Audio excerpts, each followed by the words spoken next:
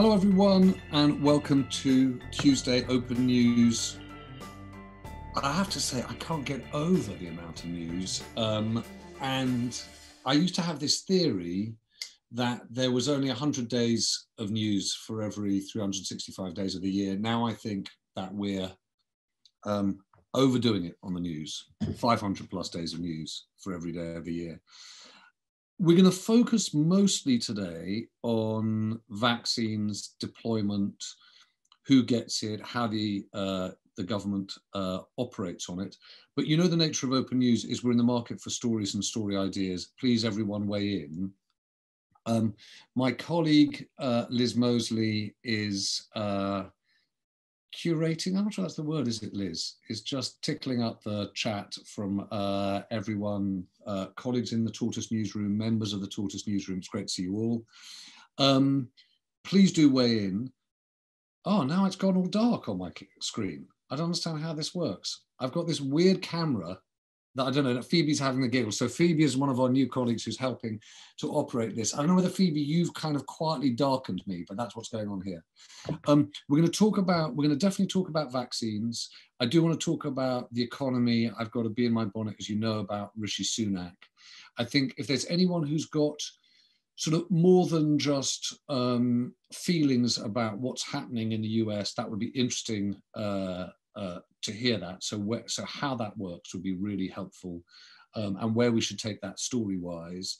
Just to give you a sense of what we're working on, as you've seen this week, we've really focused on that Jack Ma story. Um, uh, actually, it's been one of those stories that feels like it's an amazing way to get at the nature of modern China. We had a ThinkIn on it this morning, but please do take a look at it. It's a really good way uh, of uh, of kind of getting into the the, the, nature of modern Chinese capitalism.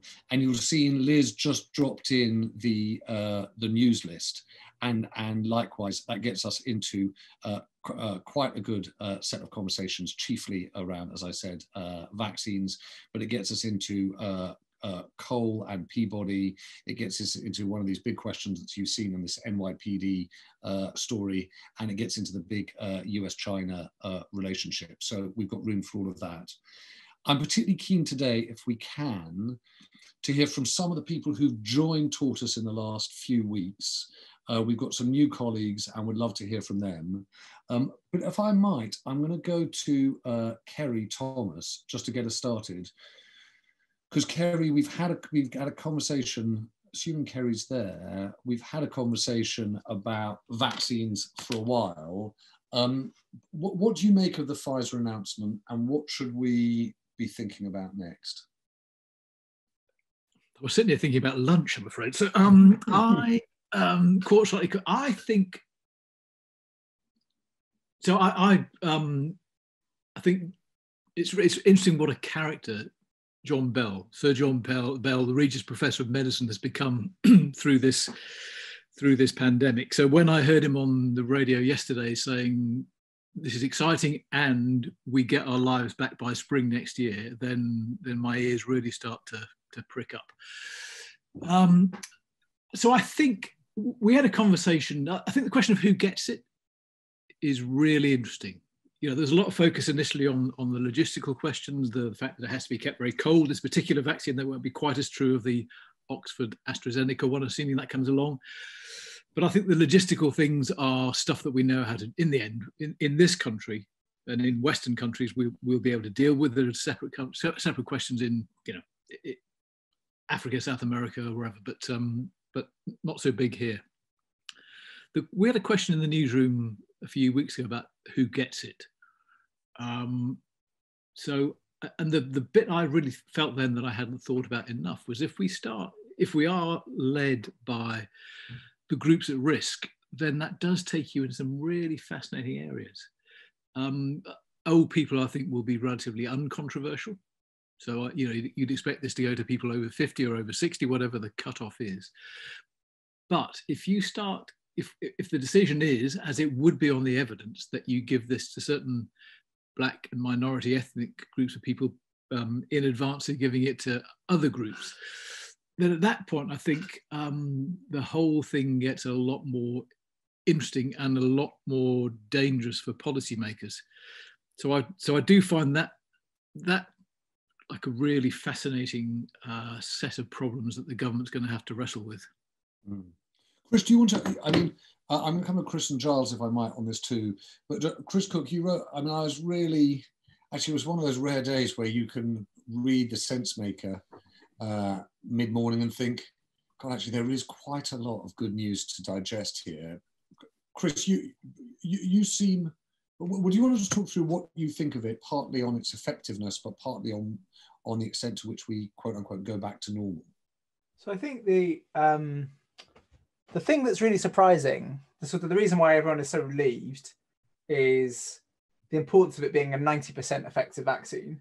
So if you have a, if we remember that they, this whole thing would get licensed at fifty percent, so it only needs to have like an evens chance of of helping you out.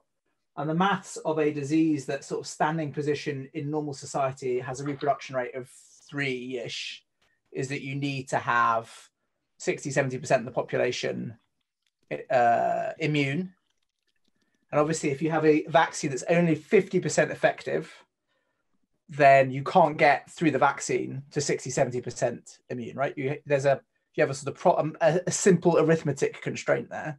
Um, the fact that it's 90% effective means that you can target people. So you can say, in the first wave, we think the following kinds of people are spreading it, and you can sort of pick off strategies to to hit them and to, you know put them to one side. And it also means that by the time you've rolled the thing out, you can be really sure we've carpeted the relevant bits of the population mm. and that they're not going to be able to spread it and catch it. So the the gap between 50 and 90 percent is is the reason why there's such jubilation. Like it's a thing that's that bit of arithmetic is really really important, and it does offer the prospect that we can be pretty close to normal if we can if this thing gets approved and it's at the sort of levels of effectiveness. Um it's a you know it's a it's it's why the airlines are coming back right? The ultimate uh, and the cinemas. Like it, it is it's a real sign it's a really big thing that that differential. The other thing about it is that it's it's the same they're targeting the same uh, feature of the virus if you like um, to trigger the immune response as other as other vaccine programs mm-hmm. and that, that that bit of the, the the virus is enough to trigger a good immune response is really good sign that there'll probably be other options too. So there will be a, a hopefully be a range of vaccines available through the next year. And what about and the one question I had, uh, Chris, about the spring was when I looked at the numbers, the the the point about production and refrigerated distribution makes me think really are they going to be able to get enough en masse out to people by the spring. So maybe not spring. So maybe not by the spring, but remember, right? It's Pfizer, right? It's not three guys in the garage. Like yeah. Uh, we keep forgetting, it's not. They're not a group of scientists. It's Pfizer, and yes. the they do every year. They rush to produce enough flu vaccine for you know a huge swathe of the population. Like the, the en masse high speed vaccine rollout is a thing we do we did for Ebola. Ebola is one of these. Uh, the Ebola vaccine was one of these ones that had to be delivered at minus 80 degrees, like this one. Right. Um, and that is a constraint, but it's Pfizer, right? Like it's you know they they know what they're doing. They're you know it's a big logistics company ultimately. Yeah. Um, and I think and and and and, and Chris, can you can I ask you because Zav's asked a question in the chat, which is when you say back to normal, do you mean like no masks, no social distancing? Well, is that is that what you think we're going towards? we're probably going to end up in a situation where um, there'll be there'll be more left to your own discretion on risk. So so probably masks will stay normal a normal constraint into you know well into next year. Bit of caution on social distancing. start letting people. We'll start saying to people, um, if you've been vaccinated, you can. We probably won't enforce it, but if you've been vaccinated, you're probably safe to go to a cinema now. Um, if you haven't been vaccinated, you shouldn't because you don't know the other people um, you know um, you won't you know you won't catch it but um the you know you can start opening up things and start allowing things to start becoming more discretionary on your own fundamentally the, the thing about the vaccine is at this level of effectiveness is it reduces the externalities connected with the pandemic so your own ability to cause havoc for other people will suddenly start falling away if if other people are much more likely to not be susceptible and you can be confident yourself you're not susceptible and basically, I think the big we talk about pubs and cinemas. A big question for lots of people is can grandparents hug grandchildren? And at a ninety percent effectiveness, they can. Grandparents, yeah, exactly. And then grandparents, well, we one of the things we don't know is whether it's um, whether it's evenly well because we don't have enough data yet. We don't know if it, there are there are subgroups who are who are more likely to do better from this than others. So it Yeah. might turn out actually that um, so what they they recently added people with Down syndrome to the list of highly susceptible people. So they've gone Mm. into the sort of what used to be the top shielding category. Yeah. The, uh, you know, we're still learning about this disease, and we may learn new things about this disease that mean that Yeah. actually there are people. We might find out that if you're over eighty, actually you'll find it very hard to mount an immune response because of something about this virus. Yeah. And, Yeah. you So I think I, I, I it's really. I'm going to come. By the way, I I see that Richard Caldwell makes the point that not being susceptible is different from not transmitting. Actually, we had a conversation a few weeks back with Sir John Bell, who, as Kerry rightly points out, is saying it's going to be things are going to be good by spring, early summer. In fact, he told us that he was going to book his holidays uh, back in Canada. In fact, he booked his flights. He said back in Canada for the summer of next year. But he did also say that the vaccines might mean you're not susceptible to the virus, but you could still carry it up in your nose and your mouth and your upper airway, so you still could could transmit it. So, so Richard Caldwell's point is right. Hmm. Um, but but Lu, can I, Lucy Huberman, can I just pick up? I, I suppose that we're talking about two things, aren't we? Who's vulnerable, and then and then the distribution of the vaccine amongst those different vulnerable groups, because there's there's a hierarchy, isn't there, of that vulnerability? I don't know. I've got a new letter saying I'm clinically critically vulnerable, which is scary. Um, before, all of us in our family were shielding, but now it's only me for some reason. So it's all a bit mysterious. I'm not sure it's been very widely discussed how that how that's being drawn up. I've written to our GP to find out Who, If why, they why, they, why they've ident- why they've sent, sent you? Why just well, there were three now there's one. So the, obviously somebody is informing the department that's sending out the letters. Is it the GPs? I don't know. I don't mind. I don't really mind. I just it, Yeah, it's quite new nice new information. Yeah. Um, Hmm. and also, if you have immune system problems, um, there are only certain vaccines you can take. So you can't take live vaccines. So the, the different vaccine technologies, I haven't looked to see which one this particular one is, but there are about six different vaccine platforms, and I'm sure uh, Chris probably knows all about that.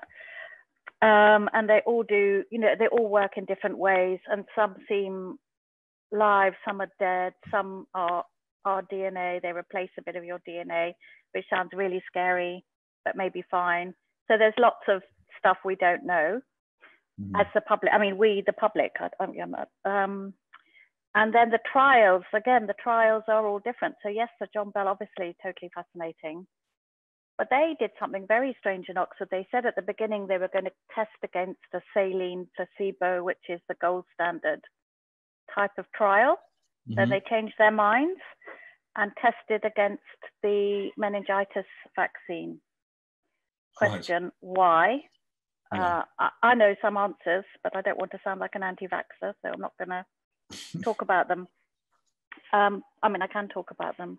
Well, you, So- uh, either way, say, say, say what you think, Lucy. Well, I, I think it's, well, I don't know actually, but I think most vaccines cause some kind of local reaction, like a swelling or a lump, or you may get some symptoms.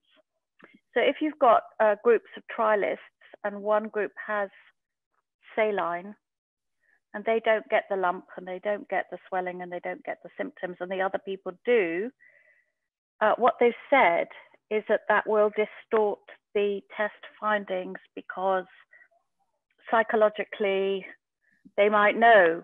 They might know if they haven't had the proper vaccine because they haven't had any of the usual types of things that go with vaccines and that might skew the reporting.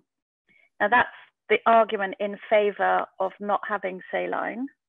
Hmm um, certain people in America, I'm not going to mention because I don't want to cause controversy, you know what I'm talking about, uh, and who write about vaccination say that it, it is fairly standard practice in maybe American pharmaceutical companies to test against something that isn't a saline solution so that people don't complain about getting hurt because Mhm. everybody then gets something with their vaccination.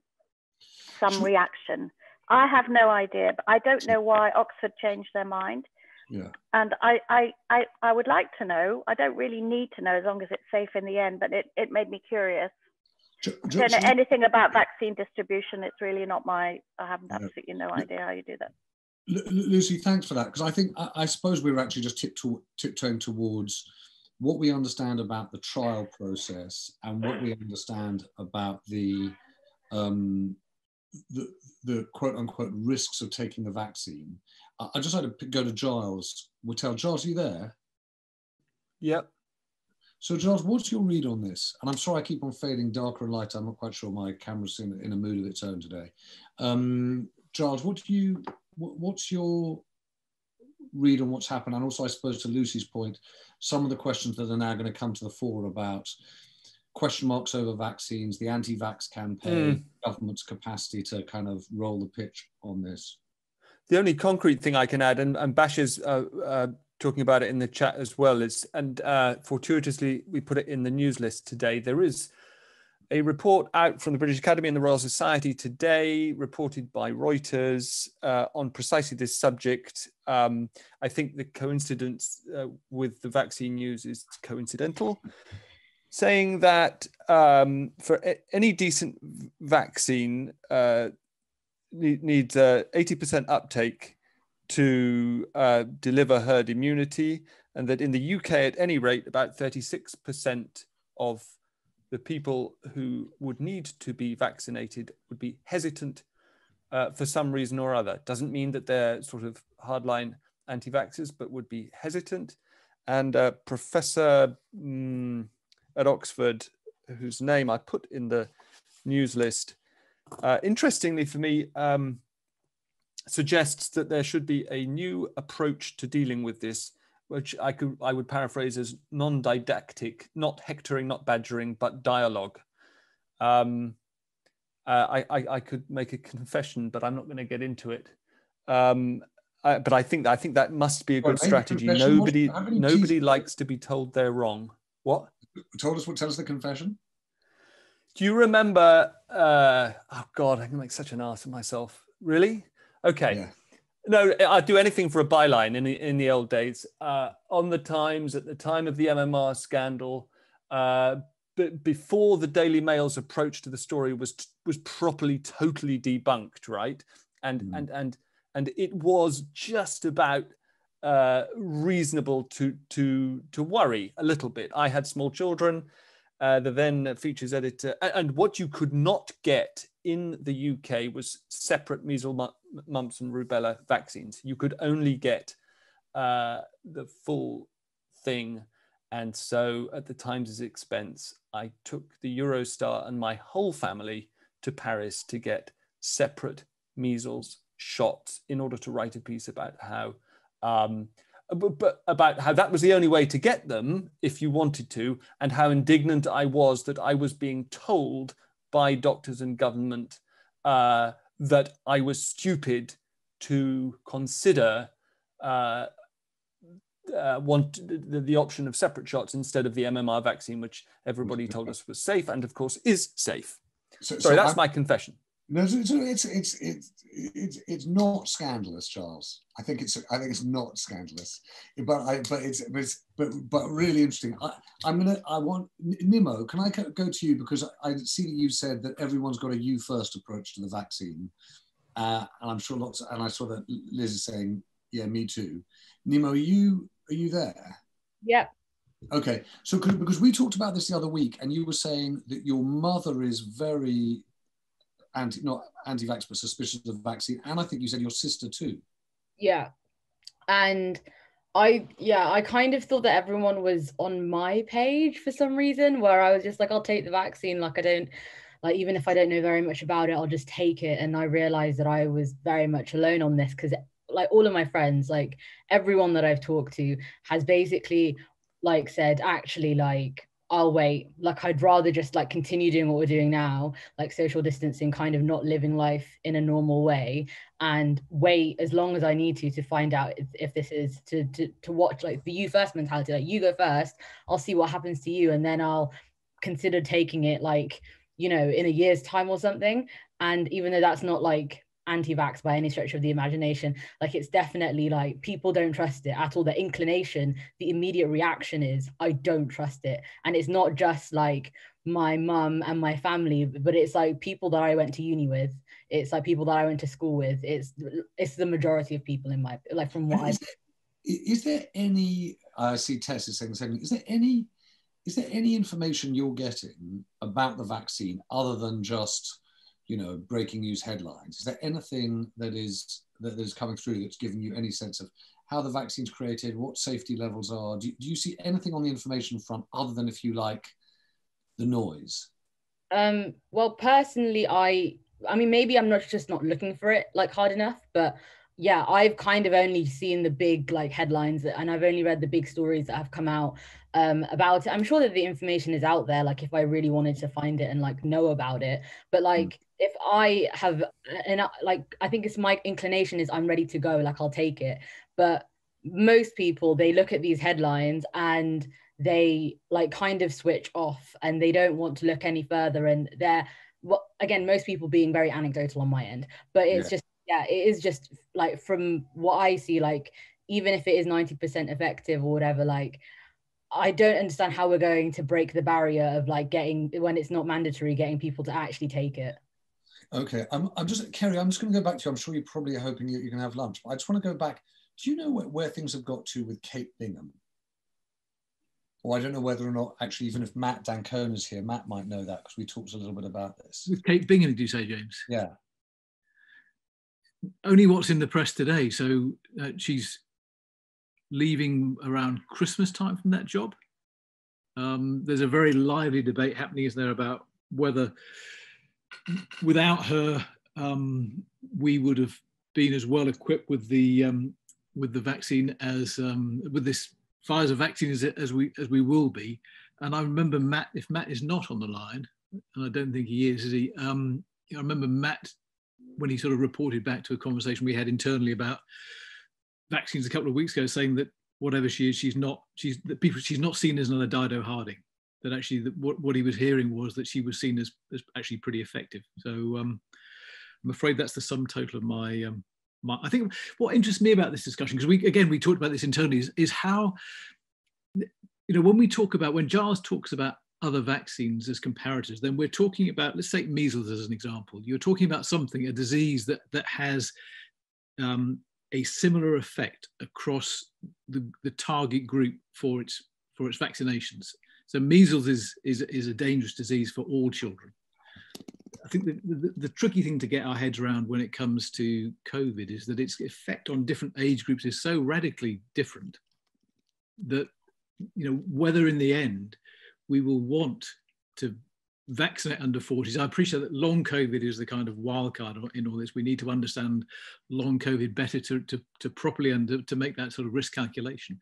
But actually, if, if we're not going to clog up the NHS with patients, if we vaccinate the vulnerable groups, if we if we limit the number of deaths by vaccinating those those those groups, then then how great a demand will there be for universal vaccination in this country? Are we going to treat this as more similar to a winter flu and just vaccinate the vulnerable and let the rest of, the rest of us carry on, mm. or actually is it more like a measles?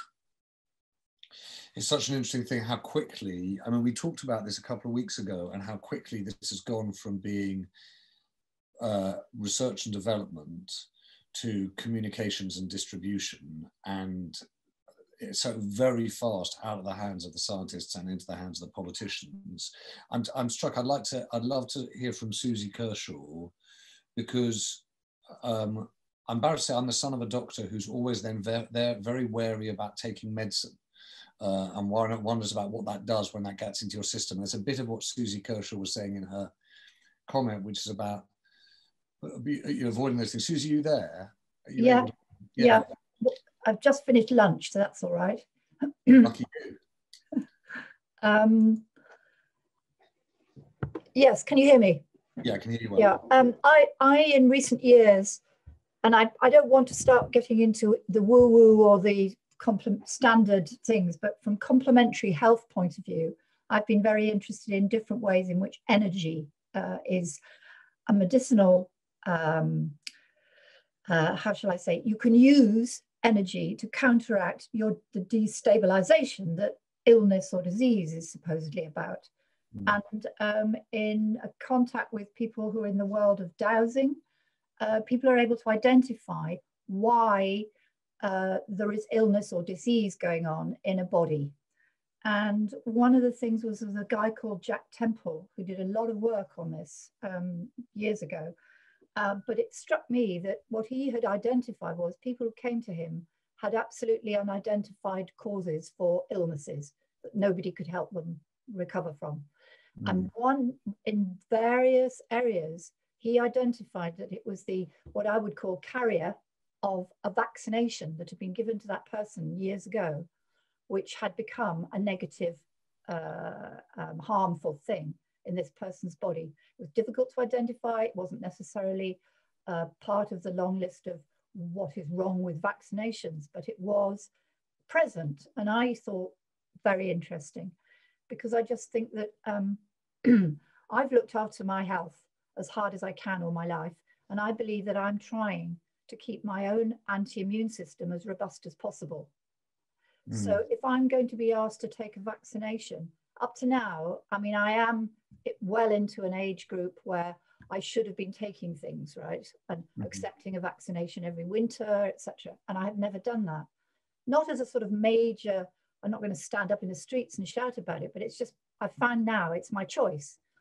So if I'm being offered a vaccination for this, and it raises for me the question exactly what you were saying earlier about um, am I going out into a public where I believe I've taken care of, I am looking after my own robustness, but where do I stand on the, am I going to infect somebody else if I don't have a, an effective vaccine, a vaccination?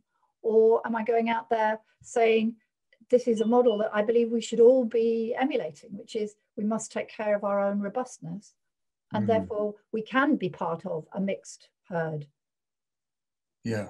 So, so you know what? I would, I would, um, I'd love to come if I can, Susie, which is on an extension that to Louise Jarvis, because she's raised the vitamin D question. And, and when I was talking a couple of weeks ago, we did one of our behind the news podcasts. I was talking to David Davis, It was actually um, it was actually about government contracting and and uh, yeah. at the end of it he said oh you know by the way I've written to Hancock about vitamin D. There's clearly an issue around vitamin D which is something entirely different from a vaccine. I see Louise Jarvis has raised it. I know my um, colleague and co-founder Katie Vanneck-Smith also is a vitamin D fan. Louise are you there Yes, hello. Hello there. So, so Hi. are you are you sort of a, saying what's going on with vitamin D, or are you a buyer of the idea that actually some encouragement of greater use of vitamin D would be really helpful on this front? I, I think so. I mean, I sort of like I've been always been a big advocate of vitamin D anyway, um, and um, so like uh, I, worked with a charity. We worked with on a couple of asylum seekers coming over. So many of those from africa and whatever. And we when they first arrived we kind of pumped them with, with vitamin d because we find it's just the, the both the physical and the mental health benefits of it. But also myself i'm one who takes it every winter and i know others who take it all the way through. Um, but also I've, I've heard snippets through the conversations on covid about the benefits of uh, it sort of like eh, people with high vitamin D seem to have greater resistance to it. I don't know how true that is. I, I sort of like haven't read a great deal of it. But I just think, you know, why if that is the case, you know, why is that not being promoted massively? It's not a vaccine, it's not a, an answer to everything, but actually, I think within this country, with sort of like with the, the weather, particularly going into winter that we have and stuff, there is a mass de- deficiency in the population of vitamin D and it, mm. it could be a, a, inverted commas quick win and a real benefit uh, you know and, and just on the side is, is that part of the reason why COVID it, uh, apparently isn't so prevalent in some of the um, African countries. Is it because the high vitamin, because people are out in the sun and they're getting the natural vitamin D that way, which we miss out on here? Mm. It's just, I, I, was just asking the question because I heard a bit about it, but then it all seems to have gone quiet, or it could have been just me that not hearing about it. Um, well, they're different sources. I saw Louise Simpson is saying that there are those people who said actually its its benefits are overstated. Right. I, I'd heard I'd heard also a number of these reviews, although on small sample size, is saying it was it was very it was very valuable. I'm going to come to the conversations going on between Phoebe Davis and Nikki Gorb about the way in which people will take vaccines if they're required for travel and they are mandatory going into certain countries. So I'm going to come to that in a second. Before I do though, I just wanted to go to my colleague Tess Murray. Tess, I'm I'm really I was really struck by your sort of rat-a-tat-tat message there that says, okay, this is the way we need to deal with this. It was uh, licenses oh, yeah. in country generic drug production, community-led comms, peer-to-peer communications. I this is how you would begin to roll it out. Do, do you want to just talk, talk about that? And particularly on the comms side, I'm really interested in the peer-to-peer comms, yeah. how, how you run that. I, I, I'm slightly piggybacking off what someone else mentioned earlier about the kind of the didactic versus dialogue communications processes. If you go back to, you know, when we were young, James, I was young. Still, we are, yeah. yes. Yeah, um, but we grew up in the shadow of AIDS. You know, we were all told to be absolutely petrified about ever having sex, like yes. anyone wanted to sleep with us anyway. But anyway, in theory, we were told to be really scared about having sex, and um, and you know, floating icebergs, and it's going to kill you um, if you hold hands with someone. So I was actually teaching in Africa in 1990, and that sort of heavy-handed, top-down uh, public health campaign landed really badly. I mean, this was really early in AIDS as well. This is 1990, and I, I still remember my kids telling me, A, uh, AIDS just stands for American Ideas for Discouraging Sex. It was a complete sort of, we don't trust it, we don't believe it, some Western world is coming to tell us how to behave and you can get stuff. And what I think you've seen over the course of 30 years in, in the sort of international development world and world of public health, global health, is what works is when you well, first of all, I still find it amazing how long it took to, to issue licenses for, gen, for generic drug production in Africa for, for antiretrovirals. So we know we can't wait 20 odd years for that to happen. We need to do that fast. We need to do, that's got to be, you know, distribute, production distribution's got to be in country. We know that, you know, Western ways of working can't be imposed on countries and can't be imposed on our own population. You know, we, we, we're you know the respect for institutions is long gone. You can't tell us what to do. You've got to help us understand. And and so what has worked most effectively if you if you lift and learn from hiv aids is community based you know mm-hmm. great leaders within your own communities. Peer to peer so i work particularly with teenagers and young people who are incredibly effective peer to peer communicators if they're empowered and given the right information. So i'm just thinking there's an awful lot we can learn from the fight with hiv aids. Um, that we don't have to wait 30 years to learn for this yeah. fight. There's something really interesting. there's something fun enough, really interesting. I I suppose you know if if Matt were here, um, Matt d'Ancona that is, we would talk about the extent to which, and have talked endlessly about the extent to which this government is a government of campaigners, not administrators. I.e., they they're always in campaign mode. They're always selling things in three word slogans, etc.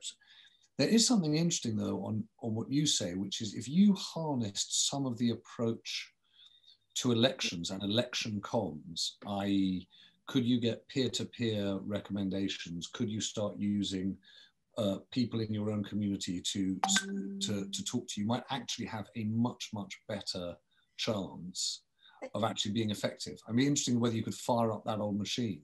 Yeah, but I, uh, there are two things that worry me about that, James. One is that we're going into to the biggest public health campaign of our lives yes. with a government with the worst trust levels that we've ever seen. Yeah. So, you know, to apply a political campaigning approach to it. Yeah. Yeah, I'm, I'm sure there are elements that can that can read across. And also what worries me is, you know, the government utterly failed to involve uh, regional leadership at the beginning of COVID. Yes. What are they going to do with this? And they're going to have to here, and they're going to have to get really, uh, sorry, business speak, they're going to have to get really granular into yeah. communities. And they've just not shown themselves to understand that at yeah. the outset of this. So they're going to have to learn bloody fast yeah. and, re- and relinquish control, but let people who know how to deliver public health campaigns on the ground in communities you know, really, get involved. Is a really that's a really good point. Um, Kerry, can I do one thing before I go to Phoebe and Nikki on this travel question, which is just to Tess's point about development of generic um, licensing of generic production. Right? What happens in a world if um, AstraZeneca and Oxford come through in the next three weeks? So you have a an Oxford um, Astra vaccine and a Pfizer um, vaccine who decides which ones you get? How does the NHS decide? How do you, as a citizen, know what you get? How do you measure the relevant side effects? Who who who, who plays God in that department? Yeah, I mean, I think uh, I mean, there's one interesting thing which is uh, which is a positive. If, if you do get the Astra Oxford one as well as the Pfizer one, they're different types of vaccine. Yeah. So that means that you don't have a clash on the supply chain, which you could have if the imperial vaccine came through, which is the, which would be reliant on the same the same component chemicals as the as the Pfizer one. You could have a scrap in the supply chain as well as in the delivery chain. so, so it would get you around that. I think the question would be: Are they as effective? Um, and again, I think uh, people are reading from the Pfizer results that probably the Oxford Astra vaccine will also be pretty effective. But if you've got one vaccine that is 70% effective, another one that's 90, then then you've got a problem. And I, and and I, I have no idea who plays God in that. Whether you would simply give the most effective vaccine to the most vulnerable people. Um, the, um, Giles, can you, can you just talk through the, the, the price the price question? I forget the actual um, differential, but at the time when Gates um, sent us the his op-ed about the COVAX scheme, mm. uh, by which he plans to harness the energies of most of the uh, big pharma players, uh, it was clear that uh, the Pfizer vaccine was by an order of magnitude going to be more expensive than any other as I recall, um, uh, AstraZeneca and others are going to offer it at cost, at least initially, and, and for the COVAX scheme, whose, whose aim is to get it distributed globally according to need, not means. Um, that um, it was it was two or five dollars a, a dose, something like that. Yeah. Uh, so so I mean, if if if you're sitting uh, in Matt Hancock's shoes, uh, wondering how to use NHS funds. I, I, I assume it is a factor if efficacy is comparable. Yeah, it has to be really, really narrowly comparable. I would have thought really narrowly comparable. Can I just can I just go? I wanted I said I said I want to go to Phoebe and Nikki, but I want to go to Chris Creegan too because Chris has got a follow up comment on on, on Tess's uh, point about you know comms at, in the age of AIDS and what we learn. Um, are you, Chris, are you there? Because I'm really interested uh, in what you have to say about the sort of the failure of that uh, communications approach to AIDS. Excuse me. Yeah, I'm here. Hi, Chris. Hi. Uh, I've, I've got, I've got, uh, I remember it exactly as you do, which is there were these really terrifying ads on TV, but but they weren't going to change really change what you thought or how you how you felt or much how you behaved. And I wonder whether or not you you think that there are read across, there are lessons that you know uh, in in this in in the in this vaccine. Um, well, uh, I, mean, I guess the vaccine's you know the massive game changer, isn't it? Because 40 years after the arrival of HIV, um, we don't have a vaccine. You know, it took 16 years to get to combination therapy and 36, 37 years to get to PrEP.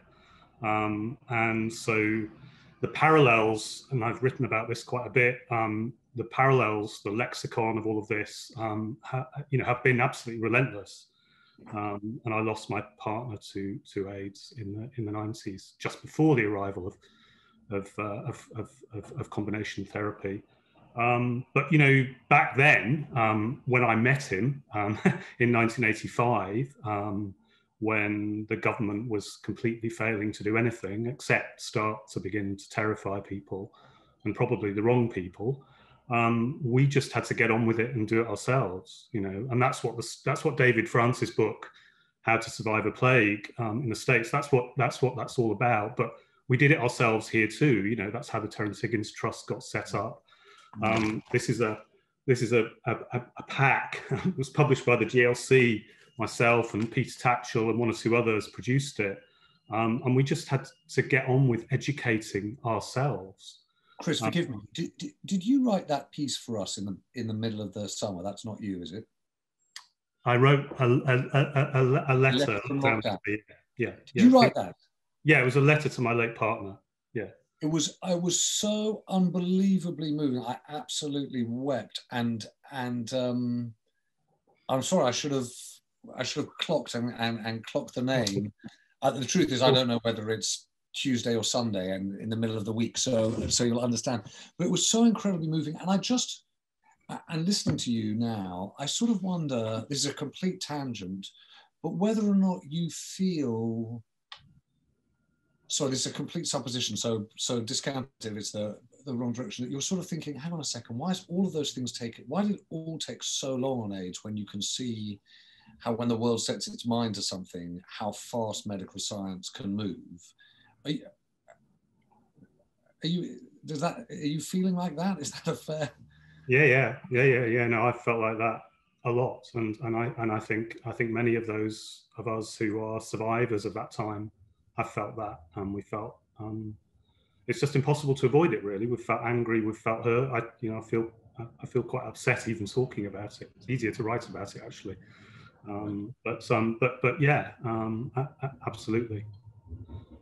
Well, I, thank you.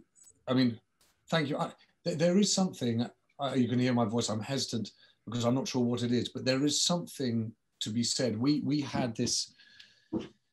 So, and this is the kind of journalistic urge, which is okay. Well, what is there there that you could really explore that gets you to to, to something that that that that's not just reflective, but but looks forward to. We had a really incredibly interesting conversation over a year ago now in our newsroom, Chris, before we got uh, you know into the sort of digital news meetings, and it was about bias around contraception, and it was actually about the kind of institutional um, uh, prejudices of the healthcare industry, not in not not in pale representation, but in investment and uh, the kinds of tests that are done, which is sort of echoes, I guess, the same point. And I wonder whether there is something really worth looking into in this, which is what we've learned about the the way in which the healthcare industry uh, attacks issues of, of urgency and how it chooses them. I don't know what you. I don't know where you where you point us.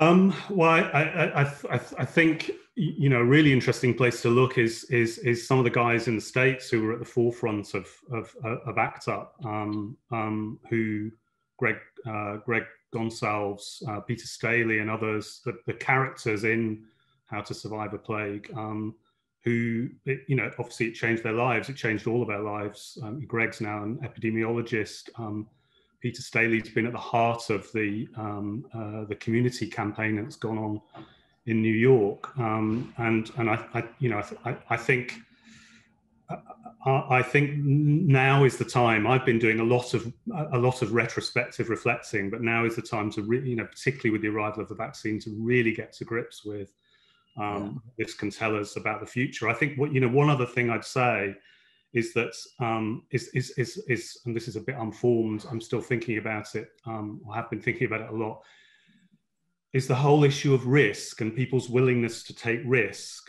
Um, uh, you know, people continued, um, people in the gay community continued to take risks, um, even when we had knowledge, even when there were drugs available, even now that PrEP's available.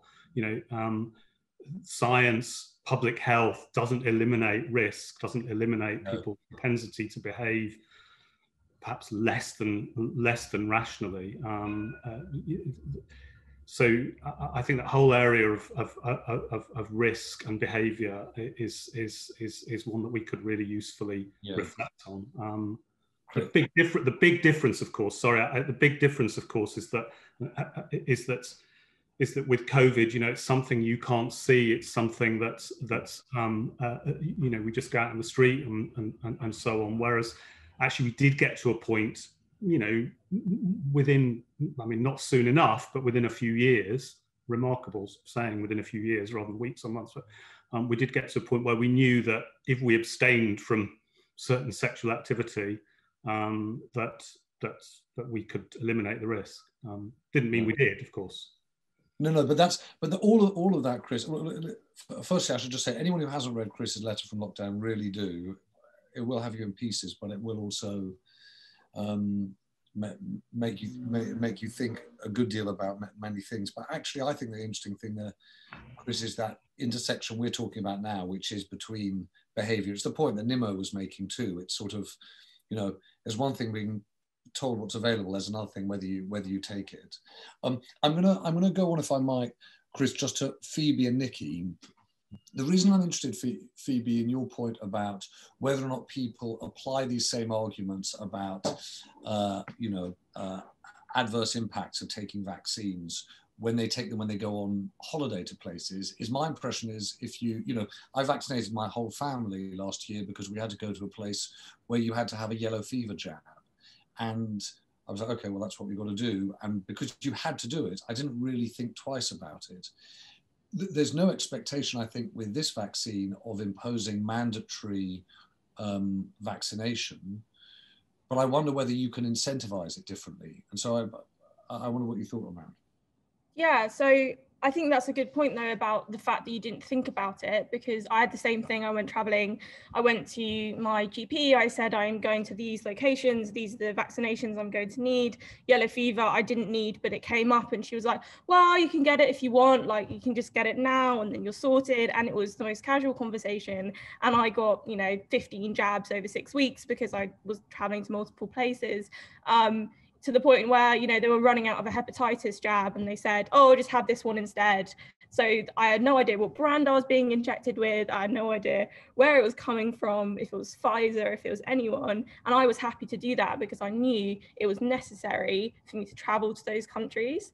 And you know it's the same conversation with anti-malarials. If anyone's heard any of the horror, stories around anti-malarials and people taking those they can have really severe impacts on on and cause hallucinations yeah, and I'm sure other people have heard those as well. And I heard those when I was traveling. So my question is, I guess, was, you know, if people were if people are so happy to take those when they're going on holiday to Brazil, as I think it was mentioned in the chat um, by Nikki, then you know, why couldn't we do the same here? And, and it may not be a mandatory across the board, but I know there was rumours that people were putting out there for festivals like Glastonbury or you know those big meetings or for a concert that it would be mandatory that you come to that with a with a vaccine. So like you said, like incentivization is do you need to have that kind of personal aspect of it for people to feel safe or is it just around public messaging and we're so used to travel vaccinations now that it doesn't um, matter?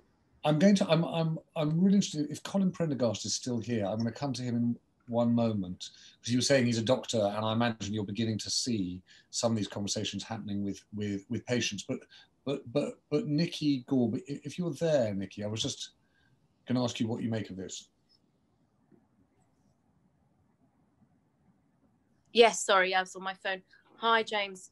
Um, I I agree with Phoebe, and um, I took mine 30 years ago and I didn't think twice about it. No, the, the yellow fever. And I've lived in Nicaragua where people have typhoid all the time and you just get used to doing it. It's sort of yeah. like it becomes part of the common sense, you know, the sociological sense of this is just what you do.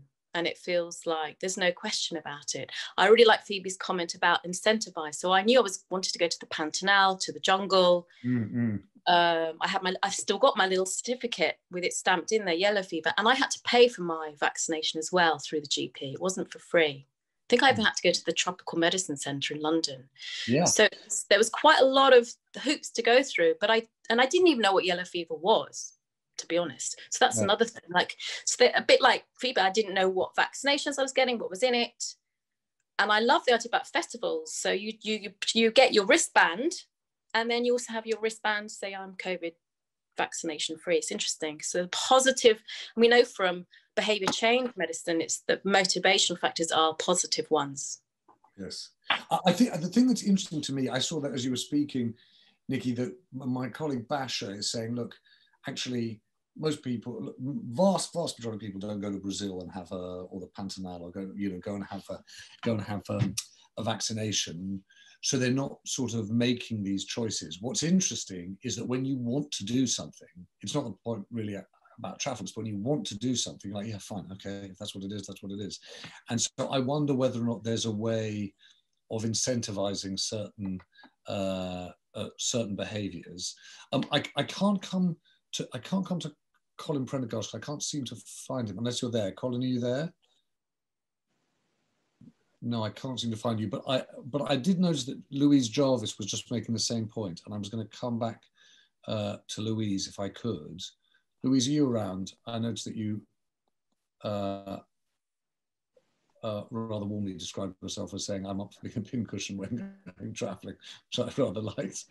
Um, I don't know whether I can. Uh, yeah, oh, yeah, we've already spoken about the vitamin D. No, no, so I know. I just asked, I was just asking, no, no, I would just ask, that's the reason why I said I want to come back to you. Yeah, yeah. Whether or not you think, was, the reason why vitamin D was the, is easy is because it's very low, um, it's if you like, very, very low barrier to entry. Very few people can go, oh no, I'm not going to take vitamin D.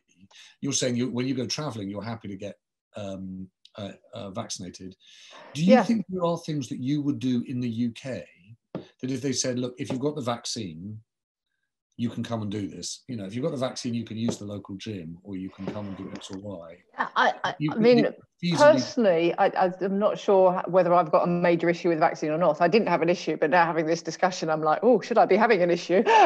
um, so I'm going to flip the other way. But, but I, I just think it would be very difficult to bring in, particularly at this time with the trust and everything with the government, to bring in you can't do X without Y and yeah. see that as a positive enforcement. People will just say, I just want to go to the gym, and why shouldn't I? I've been going to the gym for years. So I think because travel, in a way, that's been years and years, and it's it's it is now just inbuilt, particularly if you're going to some reason, some areas and whatever yes that that's what you have to do and i want to go and travel to africa or whatever whatever so i need to do x y and z i didn't even think of it but i think to bring it in i think just would be very difficult and people that will know oh, you're just being manipulative you're being whatever things like the festivals i can see yeah I, yeah it'd be very difficult to pick and choose it's, it's, it's yeah, it's a difficult I, one. I it's, it's, interesting because I think it is going to happen mm. piecemeal. I think that the airlines, for example, are going to say, yeah. if you, we, we need to have a proof of vaccination. I'm sure that will happen, and very quickly. Definitely.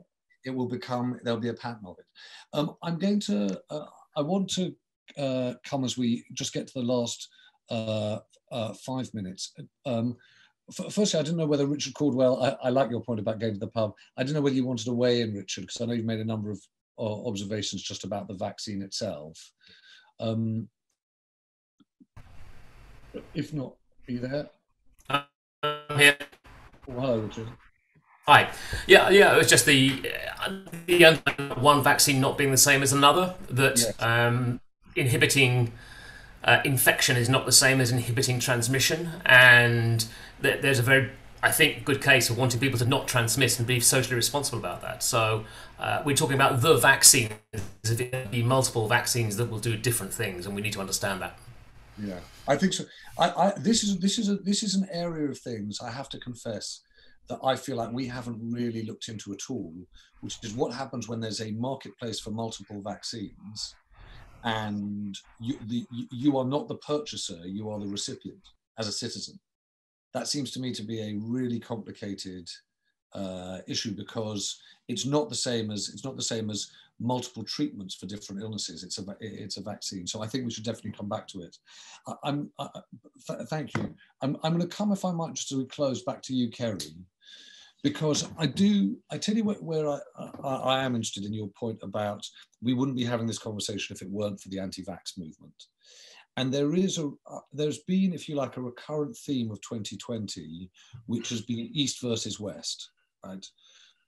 Controlled societies versus free societies. And the arguments that you even hear made by our own ministers, made by the likes of Boris Johnson and Matthew Hancock, is that it's been harder to limit infection because we are a society that, that, that, that that cherishes, even takes for granted our freedoms.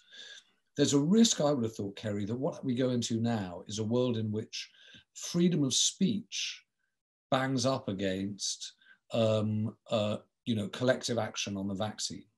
And I just wondered whether or not, if you were thinking about this thing, not just from a public comms point of view, but from an out regulation of platforms point of view, how you would approach the anti-vax issue. I mean, this is going to be a scrap, isn't it? I think the, you know, there's, there's a long um, tradition when I was at the BBC for all those years. The, the, the it was clear then that the, the, there was a science lobby that wanted us at the BBC to stop covering stories that they thought were scientific. There was a there was a BBC review that took that was that was chaired by a number of leading scientists, I think including Robert Winston, who who came up with a solution which was that all coverage for the BBC should, before it was put to air, should be approved by a panel of scientists. Um, which just seemed like like a piece of madness and exceptionalism that only a bunch of scientists could yeah. could come up with. So thankfully that never happened. I think the um, oh you know I'm I'm all over the map on this. My my, my traditional view of the media has been that we should give people the facts to make up their own minds, and I'm not sure that that feels that feels sort of, Richard. I only meant that as a kind of um, people who who, who, who, who, think there is who think that politics doesn't matter. Yeah. That's, that's, what I meant by. It. Um, I I've never been sure that closing down um, closing down channels where bad news circulates is enough in itself to um, to stop bad news circulating. You can certainly, you know, we, we're doing a piece about QAnon at the moment, and and it's clear from that that all the efforts by the mainstream platforms to um, to, to marginalise it will get you so far, but not not the mm-hmm. whole way. Mm. And, I, and I, you know, you, you've taken us into this huge, huge debate about um, whether you regulate the social media platforms. If you do, who regulates. I've never personally been particularly in favour of the social media platforms themselves being the arbiters of speech on their platforms. I think that's for us. Yeah, that's a role for society and for and for governments. Um, so I, I, I'm, I'm afraid, James, you've got no kind of answer out of me at all. No, no, no. Except for the fact that it's going to be a scrap. I mean, the, the fact is, it is going to be a scrap, and this is going to be, you know, we, we're 20 years into the question of truth, exag- exaggeration, manipulation, and polarization online. And so far, the answer of free society so, has been a shrug. You know, and I, and I suppose what's changed for me is that it used to be the case that you know if that that politics felt definitively on the side of truth that we had a convention that that politicians yes. would not would not knowingly stand up, particularly in the House of Commons, and tell lies. And that seemed to me that changed in 2016. Yeah. And I, I thought that was one of the reasons why, for example, I thought the BBC struggled in the early days of the, of the EU referendum campaign because we were confronted with mainstream politicians who were suddenly breaking that convention that had been kind of part of the furniture for as long as we could remember. Mm. So I think you know one of the things I have to get my head around is um, if politics or some politicians have shifted on that spectrum, that's a big change. And how do we account for that in the mix of everything else?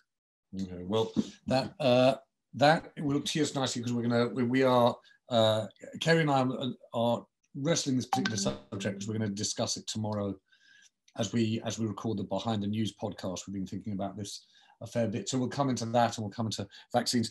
Just to say, uh, we we we are looking at the sort of the behind the scenes uh, decisions around this lockdown, I think we are going to look at the way in which the government is approaching uh, vaccines. If you heard the podcast from a couple of weeks ago, we looked at that, and that, that's a commission in progress. Hence the hence the interest in what's happened with Kate Bingham, etc. Um, but this is really interesting. Uh, the point about variety of vaccines in the marketplace, the point about incentives, the point about uh, vitamin D, the point about distribution and who decides. These are going to be subjects we come back to. Can I just say a huge, uh, a huge thank you to everyone uh, for joining us. Um, this is one of those subjects where there are, the more threads you pull out, the more threads you discover. So thank you for everyone's time and genuinely uh, for helping us uh, come away from this a big news item. Uh, possibly not with all the answers, but with a lot better questions. Uh, hope you have a very good afternoon and uh, thanks for joining us.